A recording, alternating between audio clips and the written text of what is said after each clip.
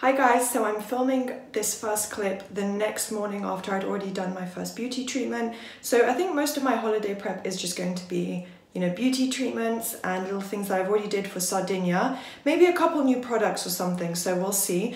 But I'm probably going to do a second sheet mask, so I wasn't too fast about giving you guys like a really thorough review about this one because yeah, it's not even one of my favorites, it's just a random one I had for years. But it is from Tony Moly is that how you pronounce it? Tony Moly, um, which is a pretty, quite well-renowned Korean skincare brand. You guys have probably heard of it. It's everywhere in the UK as well now. It's the Skin Purifying Seaweed Sheet Mask. Really aesthetic packaging, very, very, very cute. It's probably geared more towards younger skin. Obviously, it's a bit more like younger, more childish packaging, but also the purifying is more for acne prone skin, which luckily I haven't had any breakouts lately. Like my skin does look quite hydrated and healthy and smooth at the moment. And fingers crossed, yeah, manifesting that it stays that way. But yeah, it was a pretty good mask. It wasn't amazing, but as you can see, there are no like side effects, no redness, no yeah, no like sensitivity issues at all. It didn't sting, it didn't leave any red patches, it didn't aggravate any kind of redness that I already had prior to that. So I do think it worked quite well. My skin is perhaps a little bit more kind of clear and soothed in a way where it has been purified like perhaps my pores appear a little bit tighter and smoother um, you know, sebaceous filaments perhaps in my nose, or, you know, around the pores are a little better. So yeah, overall, perhaps a little bit of a difference, nothing crazy. And, you know, it's not my favorite brand. They're not cruelty free, so I won't repurchase them. And I actually received the mask for free, so that's why I even had it. But I just had to use it up and I thought purifying would be a good one to use before a holiday. Hey guys, so this is the next part of my little beauty routine. It's now minus one, T minus one day. Wait, is that correct? Yeah. T minus one day. So I'm leaving tomorrow. And by the time you're seeing this, I'll probably have already come back. But I'm doing my little pore strip now.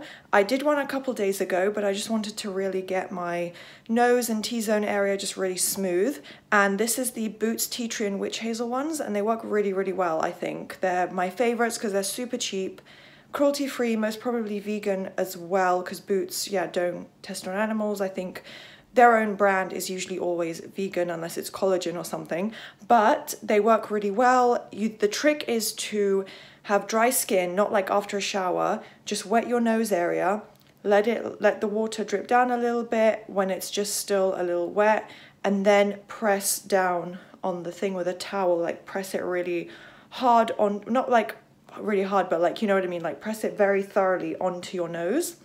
And yeah, that usually gets out all the sebaceous filaments and makes my nose just, gets rid of the blackheads basically. So yeah, you guys will, I guess you'll just see my skin in like a few future clips, a few seconds from now. I'm not going to do an after of this, but trust me, it does remove a lot. I've done my holiday pedicure. So normally feet are really gross, but I actually think I did quite a good job considering I did these myself and I have just these cute little Primark slippers and I'm about to fake tan so just ignore if my skin looks a bit splotchy. I just exfoliated but yeah I just thought a really classic simple French pedicure would look really nice for pictures and just with a tan. And yeah aesthetically they're really pretty. This is currently like my favorite go-to if I'm ever going on holiday or wearing sandals. I just do this so next I'll show you a little clip of my actual nails and then just a few other little beauty treatments I've done. So this is my hand little handbag for hand luggage, just the most important things, money and passport, things like that. And it's just a little Primark bag and because it's basically a crossbody, has a really long, um, what's it called? Well, it has a really long this.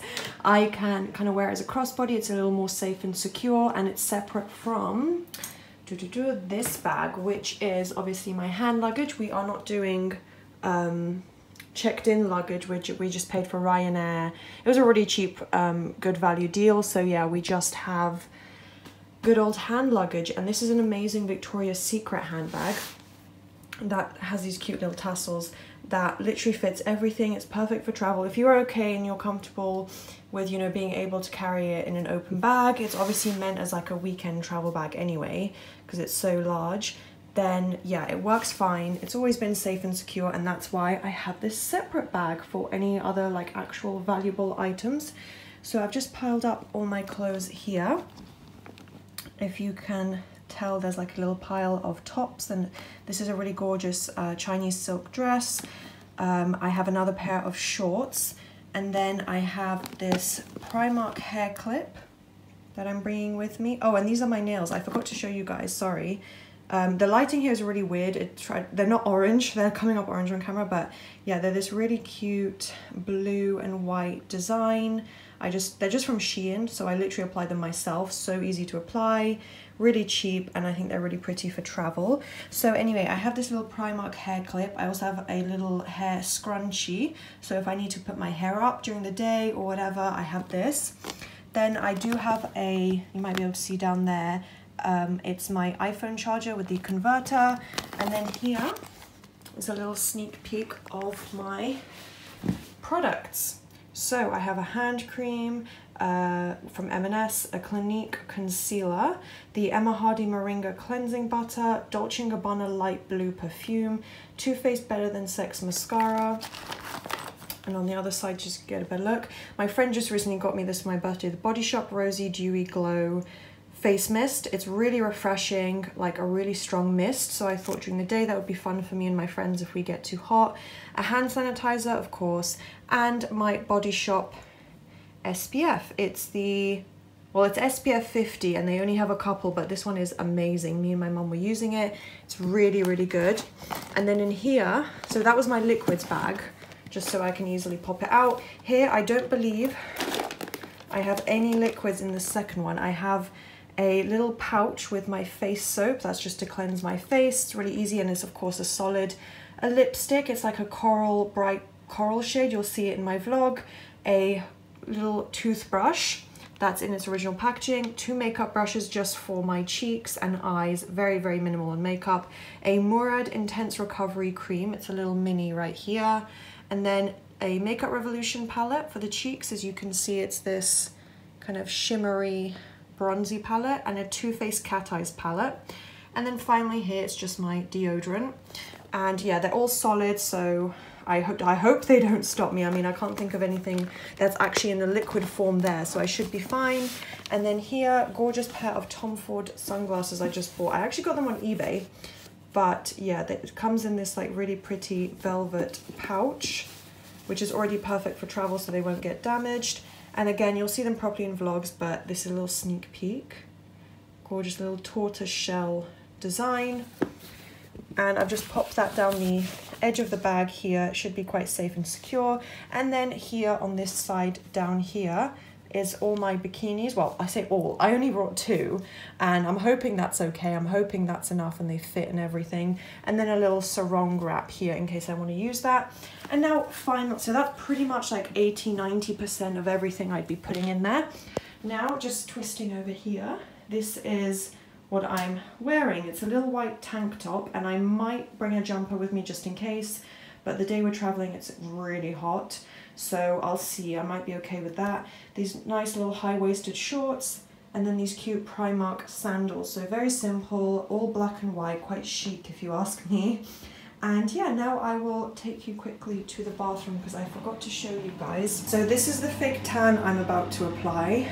Bondi Sands Aero. I just got this on Amazon actually because I really felt like I needed to get a um, what do you call it? Yeah, like Amazon Prime next day delivery of this because I was running low on my other Bondi sand and all my other fake tans. I didn't want to risk anything or be different colors. So I thought I'd just buy a whole new, um, whole new one. It's vegan cruelty free, smells a bit coconutty, so it's better than the usual fake tan. It's aerated, it's a foam consistency, it's just amazing. And it gives you a really nice deep tan. So what I just used on my hair is this hair mask when I just took a shower. It's the Lee Stafford Coco Coco Loco with agave nectar coconut shine mask. As you can imagine, it's very hydrating, moisturizing, adds shine to your hair. Again, cruelty free, vegan. Um, they say vegetarian friendly, but obviously there's no animal derivative in here.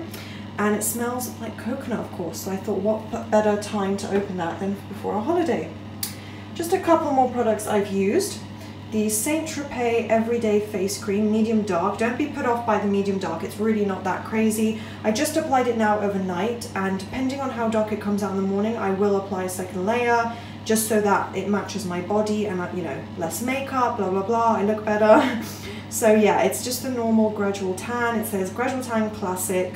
It does say medium to dark, but it really is buildable. It's not a crazy orange color. So if you do want to test this out before travel, I do highly recommend it. And again, it is also cruelty free. And now finally, I think that's my final product to show you guys. I use the Watermelon Sugar Lip Scrub from Lush. It's got a really pretty green and pink. I mean, it doesn't really taste much like watermelon, but it does taste really sweet. Smells a tiny bit like watermelon, and obviously it just keeps my lips really smooth because I'm not um, you know, doing much with makeup and stuff. And yeah, sorry to, to, to keep you guys on the wall.